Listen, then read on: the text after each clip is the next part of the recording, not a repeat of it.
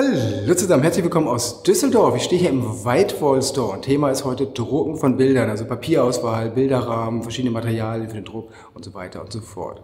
Ich habe in Island Fotos gemacht, die ich drucken lassen wollte und dann habe ich Kontakt mit Whitewall aufgenommen und die haben uns eingeladen hier nach Düsseldorf. Man kann bei Whitewall online eine Beratung machen. Das hat die Katharina, die da hinter mir sitzt, äh, mit mir gemacht. Und sie hat mir halt Empfehlungen gemacht, die ich mir angeschaut habe. Und dann haben wir auch Bilder gedruckt. Die stehen da hinten schon. Die schauen wir uns gleich an. Vorher wird uns Katharina aber nochmal erzählen, warum hat sie mir denn die verschiedenen Bilder empfohlen. Und außerdem werde ich im Laufe des Videos auch noch erklären, wie man Bilder vorbereitet für den Druck, also wie man dann ICC-Profil anwendet, damit die nachher auch richtig belichtet rauskommen. Aber erstmal schauen wir, was man hier überhaupt sehen kann in so einem Whitewall Store.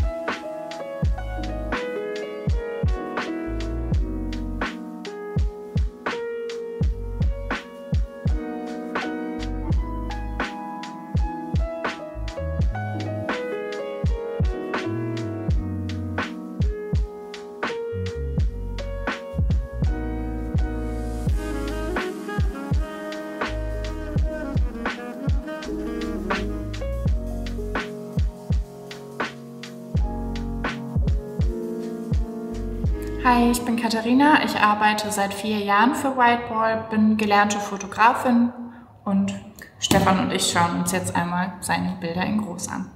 Mhm. So, jetzt haben wir hier die Drohnenaufnahme, das Drohnenpanorama. Da kannst du mir jetzt eine 100% Vorschau zeigen, ne? Genau, richtig. Jetzt stellst du gleich schon die richtige Größe in Zentimeter ein. Mhm. Okay, dann skaliert er das hoch. Genau. Und dann kann man bei Photoshop einstellen, dass man 1% beziehungsweise ein Zentimeter hier, genauso wie in echt hat. Ja, okay. Sodass wir dann wirklich die Druckqualität auch einschätzen können. Ja. Gegebenenfalls nochmal Bildfehler oder ähnliches sehen mhm. können, was wir dann gemeinsam wegmachen können. Ja. Aber bei der Aufnahme sieht es sehr gut aus. Sehr gut, habe ich nicht geschlammt. Wäre nicht untypisch. Nee. Man sieht schön den Schärfeverlauf. Ja, genau. genau. Das sieht doch gut aus, ja. Ja, erstaunlich, ne? mit der Drohne. Klar, als Panorama sind zwei Bilder, aber trotzdem mit der Drohne so groß drucken. Wundert sich. Mhm. Ja, also ich finde, man sieht hier sehr schön noch die Details. Ja, also total. Da kannst du jeden, jeden Kieselstein sehen quasi. ja, jedes Staubkorn. Ja, das sieht gut aus.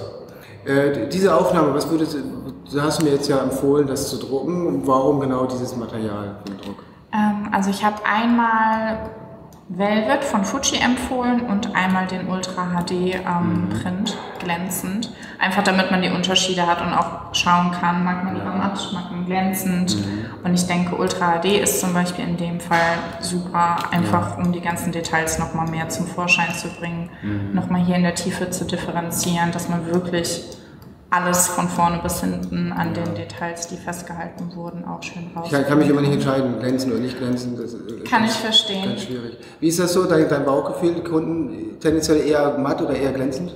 Tatsächlich eher glänzend, einfach aufgrund der Farbbrillanz. Ja. ja. Genau. Und dann hattest du mir ja noch ein zweites Bild mitgebracht. Neuseeland, genau. Und was würdest du hier wünschen? Also ich hatte dir auch wieder zwei Papiere vorgeschlagen, ja. aber was ja. wäre so dein Wunsch? Wie möchtest also, du? Das ist tatsächlich ein Bild, das bei mir zu Hause in der Küche privat schon hängt, mhm. in Hahnemühle mattes Papier, ich weiß nicht mehr genau, Fotoreck oder so. Mhm. Äh, und sieht sehr gut aus, aber es ist halt auch ein Bild, was Brillanz hätte, was ich auf dem ja. Bild natürlich dann nicht habe. Also wäre so ein typischer Fall, ich kann mich nicht entscheiden, glänzen oder nicht glänzen. Genau. Oftmals ist es tatsächlich so, ähm, bei Sonnenuntergangsbildern, vor allen Dingen auch mit einem Leuchtturm, kann es schnell kitschig wirken in glänzend. Aber es ist natürlich auch wieder eine Frage des Geschmacks. Mhm. Aber ich denke, aufgrund der Farbwiedergabe auch hier, die Ja. Farbtöne, die eignen sich wirklich echt gut für Hanemühle Photorec. Ja, das ist jetzt eine einfache, eine einfache Aufnahme halt, also kein, kein, kein Panorama oder irgendwas. Da will ich nachher auf dem Parkplatz stehen, meine, meine Camper mit Frau und Kind drin, das will ich nachher noch sehen können vom Detail her. Das wäre jetzt ja genau was, was du mir zeigen kannst, ne? in einer 100% Ansicht. Wo standen? Der Parkplatz ist da, genau, Hier. da. Das ist unser Camper. Ach, super. Ich sehe ihn, ja. okay, sehr gut, check. Daumenlage groß, ja, auf jeden Fall. Ja. Und hier ist sogar noch ein Baustellenschild. Ja, dass man fast noch lesen kann, ja, verrückt. Und du könntest theoretisch noch, habe ich hier gesehen, die äh, Infos zum Leuchtturm einholen. Und die ja Verbotsschilder. Ja, ist nicht da. Ja. Ja. Okay, ja. Nee, super. Also Qualität super. Ich habe Ja. keine Bildfehler oder ähnliches mehr gesehen. Okay, sehr gut, ja. Hier liegen jetzt die ersten beiden Drucke der Vulkan, einmal in matt und glänzend. Das matte ist Velvet und das glänzende ist Ultra HD. Wenn du dir zu Hause erstmal ein Bild machen möchtest, man kann Mustersets bestellen oder im Online, also online bestellen oder im Shop abholen. Die kosten etwas, es gibt aber 10 Euro Vorteil. So, jetzt reden wir mal über die Bilder, Katharina. Das Velvet finde ich super schön, weil das sah, es ist natürlich, es ist Erde, es ist Sand, es war matt, es war ja nicht glänzend. Genau, das habe ich mir nämlich auch gedacht, als Ja. wir die Beratung am Telefon Aber natürlich haben wir hier natürlich krasse Strukturen. Das ist Ja. natürlich schon, also nicht, wenn ich so nah dran bin, finde ich es nicht so gut, aber wenn ich natürlich einen Meter weg. weggehe, ist ja ein großer Druck. Ja. Ja. Faszinierend finde ich noch, ich habe hier Schärfentiefe drin und hier ist leider unscharf, ich habe falsche Blende eingestellt. Und das sieht, hier stört das überhaupt gar nicht auf dem Matten und hier stört mich das voll. Einfach weil, weil es unscharf ist und super viel Struktur hat.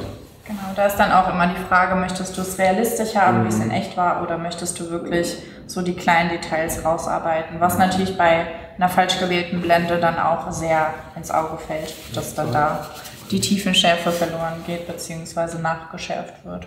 Ja. Genau. Aber sieht, sieht beides gut aus nachher.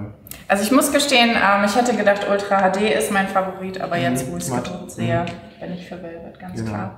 Was würdest du mir jetzt empfehlen, wie, wie hänge ich das auf? Das hänge ich ja nicht so an die Küchentür. Ähm, nee, tatsächlich nicht. Also das ist dann wirklich perfekt, um es einzurahmen hinterher. Und dann kannst du natürlich auch zwischen mattem oder glänzendem Glas wählen, aber wenn du glänzendes Glas wählst, machst du natürlich wieder die matte Oberfläche Ja. kaputt. Ich höre von meinen Followern immer öfter, dass sie sagen, sie haben Bilderrahmen hängen und eben kein Glas drin. Das Glas wir weggelassen, weil du dann die Reflexionen halt nicht Ja. hast. Und spart sich das teure Museumsglas im Grunde. Aber es sieht natürlich dann auch so aus, wie ich es hier sehe. Äh, ist das was, was du auch empfehlen würdest? Oder sagst du, da muss immer Glas vor sein, wenn es ein Bilderrahmen ist? Ähm, wenn du mit einem Passepartout arbeiten möchtest, ganz klar, muss natürlich Glas davor, aber du kannst es natürlich auch nur kaschieren auf Alu-Dibond. Das auch Der, aha, dann würdest du das alle die machen, natürlich. Genau. Können wir sowas mal sehen? Ihr habt ja hier Muster, Alu die habt ihr ja sicherlich ein Muster hier. Können wir Genau. uns das mal Ja, anschauen? haben wir. Also hier ist es jetzt Kodak mit einer Mattenlaminierung auf Alu-Dibond kaschiert in einem Alu die Rahmen aber trotzdem mit dem Rahmen. Okay, also Genau, auch ohne Glas, genau. Dann haben wir hier noch einen Direktdruck auf Alu-Dibond. Ja, so genau. Das könnte ich mir super vorstellen mit dem Vulkan, ganz ehrlich. Oder? Ja, also, da hast du so ein gutes Mittelding, vor Genau. allem auch zwischen matt und ja, glänzend. und dann kann ich es an die Wand hängen. Es glänzt halt eben nicht, wie wir gerade gesagt haben, es sieht trotzdem edel aus. Das sind jetzt so Abstandhalter. Habt ihr die jetzt hier oder ist das immer so, dass sie so. Die sind standardmäßig verarbeitet. Mhm. Du kannst auch ohne Aufhängung bestellen und je größer es wird, also ab einer Kantenlänge von 55 Zentimetern, sind die auch umlaufend. Ja, okay. Weil dann habe ich ein bisschen Abstand, was ja auch nochmal edel aussieht, wenn es von der Wand Genau, vor allen Dingen dadurch, dass oben und unten eine Aufhängung ist, hast du halt einen gleichmäßigen Abstand zur Wand und es kippt nicht nach vorne oder hinten. Ah, natürlich, ja, genau. Gibt noch klar. mal mehr. Genau. Ich weiß Sicherheit Nicht, ich weiß nicht, worum es gehört. Das, das ist, glaube ich, äh, Ansichtssache. okay. So, jetzt haben wir hier die beiden Leuchtturmbilder, auch wieder glänzend. Das ist jetzt welches Material? Wir haben hier einmal den echten Fotoabzug von Fuji Inklands und einmal Hanemühle Fotorec. Fotorec. Ist halt, äh, Fotorec sieht immer mal gut aus. Kannst du drauf machen, was du willst, oder? Ja, finde ich auch. Also es Okay. ist ein ganz, ganz, ganz besonderes Papier. Also du hast so eine schöne Wirkung. Es ist wirklich so ganz, ganz sanft. Alles geht so fließend ineinander über. Während man hier wirklich irgendwie der Fokus liegt mehr auf dem Geländer, finde ich, als auf dem Himmel und dem Leuchtturm. Ja, das stimmt. Während das da sich so schön einfügt. Genau, es ist, es ist harmonischer. Ja. Es ist harmonischer, das stimmt, ja. Also es ist, es ist kitschig schön, also positiv kitschig, aber es wäre mir jetzt für die Küche, würde ich es mir nicht hinhängen. Nee. Sondern so ein Angeberfoto, wäre das irgendwie dezenter einfach oder so. Ja, Glaube ganz ich, klar. Das, ich glaube, das würde sich auch ganz gut einfügen. So allgemein in alle Wohnräume. Ja, ja, doch, also total. für, für mein Magazin ist tatsächlich Hochglanz, weil es einfach, Fotos sehen besser aus in Hochglanz. klar. Aber in dieser Größe, ja, also Fotorec ist the way to go, definitiv. Und schön, man sieht alles Details, sieht, ich sehe meinen Camper, wie wir gesagt haben, ich sehe hier jeden Grashalm. Ja, da ist jede Struktur drin, ne? auch im Holz, die, die Struktur sehe ich. Das ist auch immer noch mal ganz schön. Bei einem Inkjet-Druck hat man halt wirklich alles auf einer Ebene verteilt, während beim Fotoabzug ja so gesehen unterschiedliche Lagen sind. Und dann wirkt es halt auch ein bisschen unschärfer im Gesamten als hier. Also das ist auch immer noch mal ein Vorteil von den Hadelmühle-Papieren, dass man wirklich so ein knackiges Bild auch hat. Ja, also schön, schön geworden, habt ihr gut gedruckt. Auch, auch nichts ausgebrannt. Das ist immer ganz schwierig hier, die Lampen, da ist weiß, aber eben nicht weiß-weiß. Ja, und auch hier sieht man drin schön die. Differenzierung. Genau. Ja. Ja, haben wir, haben gut gemacht. Von der Helligkeit her hat, hat gut funktioniert. Ja. War damals auch mein erstes Bauchgefühl. Weiß nicht, ob du dich noch erinnern kannst. Doch, ja. Mhm. Sehr gut. Jetzt haben wir hier nochmal das Island-Foto, das ich ursprünglich auch tatsächlich drucken lassen wollte. Katharina, sagst du nochmal ganz kurz, was ist das für Material, was wir hier haben? Ähm, Das Papier, was wir gewählt haben, ist ein Metallic Print Ultra HD und dann haben wir es mit Acrylglas versiegelt und noch schön in eine Slimline-Rahmung eingefasst, damit du ein edles Finish hast. Aber bei dem Bild haben wir ja schon gesagt, passt gar kein Rahmen, aber einfach damit du wirklich einen richtig schönen Abschluss Also ich habe einen hast. unsichtbaren Rahmen, den man aber irgendwie doch sieht. Wir haben hier eins Genau, der ohne. Rahmen liegen und es sieht einfach nochmal einen Tick irgendwie Wertiger wertiger aus, aus. ja. Das stimmt. Obwohl es unsichtbar ist. Super dezent, hebt sich auf einer weißen Wand immer noch so ein bisschen ab. Also ich weiß nicht, ob man es von der Einstellung sieht. Ähm, wir haben hier auch extra nochmal eine Variante, wo es ohne ist, dass man direkt sieht, dass das Acrylglas auf dem Adodiban kaschiert ist. Und das ist natürlich, je nachdem wie man eingerichtet ist, kann das auch mal stören. Deswegen, wir haben die in vier Farben, sehr flexibel einsetzbar. Oh, schwarz ist gut. Ja, passt auch, finde ich, hervorragend dazu. Vielleicht noch für die interessanten, interessierten Fotografen unter euch, das ist eine Drohnenaufnahme, eine Einzelaufnahme, kein Panorama oder sowas. Ich habe das nachher im Photoshop hochgerechnet von dem Pixel her, aber wenn ich hier stehe, sieht man das. Also man sieht, dass hier keine richtigen Strukturen mehr sind, weil es halt die Drohne das nicht hergibt. Aber aus der Entfernung, wie die Kamera ist, also aus eurer Entfernung, sieht das mega gut. Also die Farben kommen halt drüber. Und das war live wirklich so, das ist kein Photoshop, das war live so, das Gletscherwasser und dann halt das gelbe Mooszeug und dann natürlich noch die Straße, die da durchgeht und so weiter. Hier ist unser Auto. Ähm, also das, das war vor Ort schon so, dass wir gesagt haben, oh je, das gibt, gibt Hammerfotos und man sieht's ja. Ja. Gute Wahl mit dem Glänzenden jetzt hier auch, weil das das rüberbringt. Schnee, Wasser und so. Ja, das Metallic-Papier, finde ich, bringt auch nochmal hier wirklich diese Besonderheit des Mhm. Wassers raus und das Gras knallt. Ja. Oh, das ist Moos? Oh, ja, es ist Moos. Moosgras. Ja. So. ja. Jetzt hast du gesagt, das ist Alu Dibord eigentlich. Alu Dibord denkt man normalerweise eben, das ist eher... Das ist unsere Verstärkung. Damit arbeiten wir immer in Verbindung mit Acrylglas, weil Acrylglas ist ja relativ flexibel und würde sich dann durchbiegen. ah, es wird sich biegen. Mhm. Und ähm, auch noch ein weiterer Vorteil, wenn man eine Aufhängung dann noch anbringen würde ohne Alu-Dibond, dann würde das durchscheinen. Das heißt, man hat dann gar nicht so diese Wirkung, sondern man würde damit die Hand dahinter halt auch die Hand sehen, wenn Mhm. es angeleuchtet ist. Deswegen arbeiten wir immer mit Alu-Dibond, einfach wirklich, um auch diese Stabilität zu geben. In Verbindung mit unserer Aluminiumschiene ist es halt wirklich ähm, ja, Ja. sehr plan. Ist dann auch einfach aufzuhängen, sehe ich gerade, eine umlaufende Aluschiene. Also ich muss zwei Schrauben auf eine Höhe kriegen. Und Ja, je nachdem, wie die Wandbeschaffenheit ist, immer ähm, nicht nur mit Nägeln, gerne Dübel und passende Schrauben dann halt auch verwenden. Genau. Jetzt haben wir hier noch eine alte Bekannte, ein altes Foto, das äh, schon öfter aufgetaucht ist in diversen Magazinen und bei mir auch im Studio schon mal hängt, in kleine allerdings. Das ist jetzt mit Holzrahmen. Sagst du nochmal, was ist das genau? Das ist die Artbox aus Holz. Hier haben wir jetzt Eiche Schwarz gewählt, weil das zu dem roughen Charakter vom Boden und vom Bild passt. Genau, in Kombination mit einem Ilford Schwarz-Weiß-Papier Ja. Und Und einem- Ilford Schwarz-Weiß-Papier, Ja. genau. Und jetzt ist natürlich mal ganz wichtig, Passepartout. Du, du hast mir geraten, ein breiteres Passepartout zu nehmen. Ich habe jetzt ich will schmal haben. Geschmackssache. Geschmack, ja, also du hattest, du hattest recht, Aber es natürlich. ist ein Weißrand tatsächlich Ja. und kein Passepartout. Ah, so. Mhm. Weil Passepartout ist ja nochmal eine andere Art von Rahmung. Ja, genau. Deswegen da bitte nochmal differenzieren, weil dann gibt es auch unter den Rahmen eine andere Kategorie. Mhm. Genau. Aber hier hätte es auch, finde ich, nicht mit einem Passepartout gepasst, Mhm. weil es einfach viel älter dann aussieht. Mhm. Und das Bild ist sehr, sehr modern. Und deswegen passt das reine Weiß auch besser. Ja, alte, alte Scheune, moderne, ja. Ja, aber so Mhm. die Frau, ja. Ja, okay. Ja. Okay, aber ihr habt ja einen ganz, jetzt haben wir einen ganz, ganz schmalen Holzrahmen im Grunde, mhm. den kann man ja auch dicker machen. Genau. Finde ich immer ganz, ganz schwierig. Das ist, glaube ich, auch, wäre für mich ein Grund, in den Laden zu gehen. Ihr habt ja Muster, hier habt verschiedene Bilderrahmen. Ja, Können wir die mal sehen? Ja, gerne. Also in jedem Store ist einmal so ein Rahmenregal, sieht natürlich in jedem Rahmenladen ein bisschen anders aus. Mhm. Aber hier sind zum Beispiel alle Varianten, die wir von der Artbox die, die Art, Das ist die Artbox, die wir da gerade haben. Genau, genau. richtig. Mhm. Okay. Das Bild liegt dann quasi hier drauf, damit mhm. es hier einen schönen Abschluss mit dem Rahmen gibt. Ah, okay. Das, das, das, das ist das Stück, was ich sehe. Genau, also schmal, genau. Sehr schmale Holzrahmen in dem Fall. Okay. Ist immer ganz schwierig, ähm, finde ich, sich online ein Bild zu machen, wobei mhm. unser Konfigurator schon echt äh, 1A ist und mhm. auch die Software, die wir entwickelt haben, dass man ja. das Bild direkt an die Wand werfen kann. Aber es ist immer noch mal was anderes, wenn man wirklich in den Store kommt genau, ja. und die ja. Farben hier noch mal beurteilen Genau, und habt ihr Holz und Metall, wahrscheinlich auch Kunststoff? Genau. genau. Mhm. Die Rahmen lassen sich auch in sämtlichen Wunschformaten anfertigen, mit Ausnahme von denen hier. Die haben sieben feste Größen. Mhm. Da muss man dann so ein bisschen gucken. Die sind natürlich auch sehr speziell. Wichtig bei dem Grün ist auch äh, zu beachten, ob man einen weißen Untergrund oder einen schwarzen Untergrund hat, weil auf weiß wirkt das hier gelb. Ah, auch so ein, ja, ich verstehe. Mhm. Ja, einfach. Oben links haben wir noch so richtig, richtig mittelalterliche Richtig barocke, genau. Wird sowas gekauft? Also ich muss gestehen, ähm, es passt sehr, sehr selten zu einem Bild. Also wirklich, es muss zur Einrichtung auch passen. Ja. Also die hier oben sind wirklich sehr, sehr, sehr besonders. Mhm. Deswegen, also der läufigste oder der gängigste Rahmen ist tatsächlich ähm, einmal Hamburg oder Basel. Hier mhm. ist wieder mit Schattenfuge. Hamburg ist ohne Schattenfuge. Haben wir auch wieder in sämtlichen Tönen.